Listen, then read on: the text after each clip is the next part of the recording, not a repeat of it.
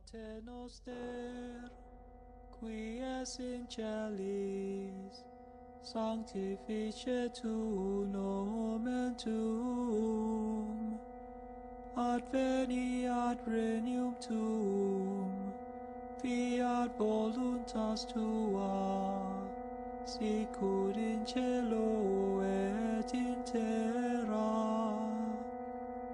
panem nostrum quotidianum da nobis hodie et dimite nobis debita nostra sicur et nos dimitimus debitoribus nostris.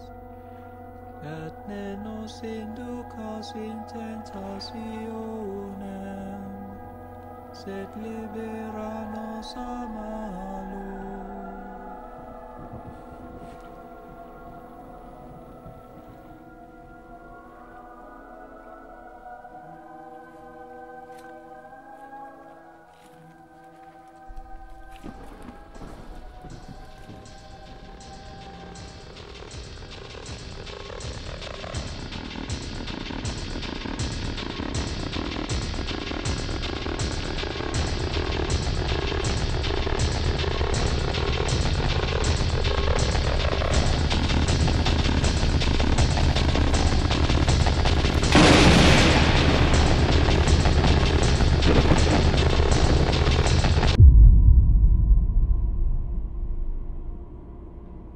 but he is all alone.